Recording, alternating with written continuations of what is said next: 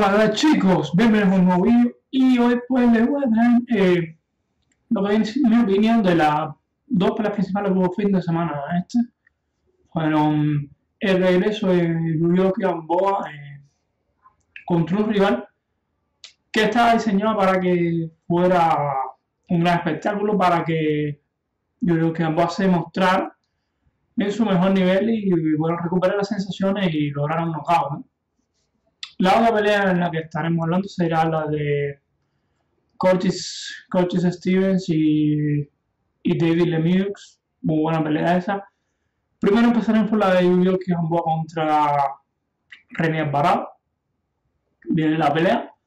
Eh, después de 15 meses sin pelear de, de Gamboa, pues esta pelea estaba hecha para que. Era una, una pelea de turno, una pelea para hacer lucir bien a Gamboa para que tomara ritmo y para luego de esa pelea, de esta que es que pasó, pues ponerle tal vez una o dos peleas más contra rivales no tan potentes y eventualmente enfrentarlo a Basil Lomachenko, que es el objetivo principal por un campeonato. Eh, la pelea no se desarrolló como, como esperaba eh, fue aburrida, bastante aburrida por momentos. Eh, es decir, Alvarado no lanzó prácticamente golpes. Y Gambú esperaba mucho a que Alvarado lanzara para ir contra Opiar. No se atrevía a entrar de todo y, y dar golpes. Es decir, Gamboa, antes lo que yo la pelea, antes, en peleas anteriores, cualquier Gamboa tiraba 3, 4 y iba iba más o menos viendo y pum, entraba, pa, pa, pa, combinación rápida de golpes. En esta ocasión no fue así. Hubo dos, tres, cuatro veces que Gamboa logró entrar y golpeó a, a René Alvarado de esa forma. Y se vio esos tres, cuatro momentos fueron destellos de que Gamboa todavía tiene para, para hacer esto, ¿no? todavía tiene con lo que se dio a conocer la pelea es lo que queda a deber. Su penúltima pelea con Hylon Williams, igual fue una pelea más fácil para él incluso. Golpeó, no tuvo y no, no logró llevar a la bala ni noquear ni nada. En esta tampoco es llegó una vez a una bala, aunque el referee eh, dijo que había sido un rebalón, pero en realidad sí se fue a la lona. También él fue a la lona, que sí contó como knockdown eh, eso me preocupa porque un golpe, uno o dos golpes que tiró el bravo le hicieron daño. Los dos que le dieron le hicieron daño y tuvo que moverse, tuvo que comentar. Eso es preocupante, ¿no? Es cierto que él eh, recibe la frecuentemente, pero no se queda tan, eh, no se siente tantos golpes como en esta ocasión. La pelea no fue lo que se esperaba. Yo esperaba un knockout ya séptimo, de séptimo a noveno asalto, esperaba un knockout porque es cierto que también tenía que coger ritmo, tenía que coger ritmo, o sea, salto, de competición. Eh, pero ese knockout no llegó. De hecho, a medida, al principio de la pelea, Gamboa estuvo bastante bien, bastante agresivo. No llegó el knockdown. Eh, y eso yo creo que lo que le hizo fue eh, se frustró y al entrar en una ocasión como Alvarado lo esto y sintió, sintió el golpe pues a partir de ese momento empezó a pelear de afuera y perdió incluso un round en el que cayó. Incluso puede haber perdido otro. Yo hubiese dos rounds parados fácil de los 10. Al principio pelea estuvo bastante mejor Gamboa, luego se fue diluyendo mucho, mucho, mucho. Otra cosa que no me gusta es que en las redes sociales se vio a Gamboa entrenando con Ismael Sala y cuando llega la pelea el que está en su esquina es, su padre, Carlos Gamboa. No, no, no, no me gusta eso. Es decir, si entrenas con Sala, ya Sala debería ir a pelear con él. Debería estar ahí. No su padre. No sé lo que sucedió exactamente ahí. No sé si, si entrenaron solo por un tiempo, si no lo sé. Pero no, no me gustó eso. Cuando vi eso, me di cuenta que no iba, no iba a hacer lo que todo el mundo esperaba. Eh, la gente, incluso lo abucharon ahí, merecido porque no dio el espectáculo que se esperaba. Y esperemos que si, es decir, para la próxima pelea que tenga, pues, que luzca mejor, porque en realidad aquí no lució bien. Y bueno, ganó por decisión unánime. Nada más Alvarado, eh, podía haber hecho más, cogió, no sé si tenía mucho respeto al principio, miedo o lo que fue. Al final soltó un poco las manos, pero que el resultado no cambió, decisión unánime fácil para ambos, que se queda de ver.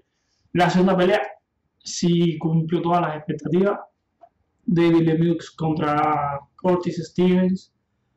Una pelea que incluso las televisoras decían que era un 50-50 porque los eran pegadores, porque los dos tenían un estilo eh, parecido, dirá mucho juego, pienso por exacto. Eh, ves el récord de Lemieux, ves el récord de Stevens, perdieron los dos con Golovkin. Eso sí, yo vi las peleas, de decir que Lemieux trató de pelear más que lo que trató de Curtis Stevens. Eh, la, eh, muchos decían 50-50, yo lo veía 70-30 o 80-20 para Lemieux, porque era Lemieux, todo el que lo ha visto sabe que pega muy, muy fuerte, que si lo dejas trabajar te va a noquear. Si no tiras golpes te va a noquear. Si no le bolseas bien te va a noquear. Todo eso fue lo que sucedió en la pelea. Curtis Stevens, eh, sí, le llegó una ocasión, dos ocasiones, pero una bien clara que hizo en el segundo asalto. hizo, hizo hasta bien un poco ahí a, a, a Lemieux, que se tuvo que mover un poco. Y, pero hasta ahí, punto. Luego, eh, al principio, eh, Lemieux salió a noquear, a noquear. Eh, tirando combinaciones, tirando golpes fuertes arriba, abajo, llevando contra las cuerdas a Steven. Steven se defendía mucho, estaba contra los pies, pero es que con este tipo no puede, no puede hacer ese tipo de pelea. Quédate sin tirar. Se queda sin tirar por mucho espacio de tiempo y entonces ahí permitía a Lemix trabajar. Eh, segundo round fue un poquito mejor para Stevens porque bien, se vio un poquito, no sé si cansado o refuerzo del primero o lo que sea. Y en el tercero, pues quedó en, yo no no espectacular, espectacular, es un golpe, la verdad, terrible. se me apareció mucho el golpe que en la pelea de Adonis Stevenson contra eh, Williams, un golpe muy similar.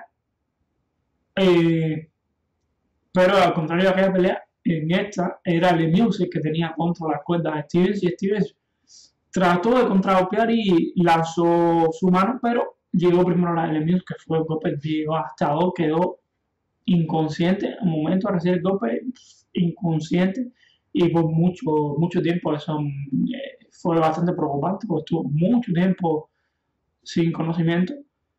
Pero bueno, eh, Lemieux se dio esta pelea, lo que debía pasar, un peleador, porque si lo deja, lo que hecho, si lo deja hacer su te va a bloquear muy buena pelea de Lemieux. También tengo que decir que eh, no era el rival eh, del nivel de Lemieux, en mi entender. Eh, ¿Qué viene para Lemieux? Canelo, una buena oportunidad. Canelo puede, se puede noquear mutuamente.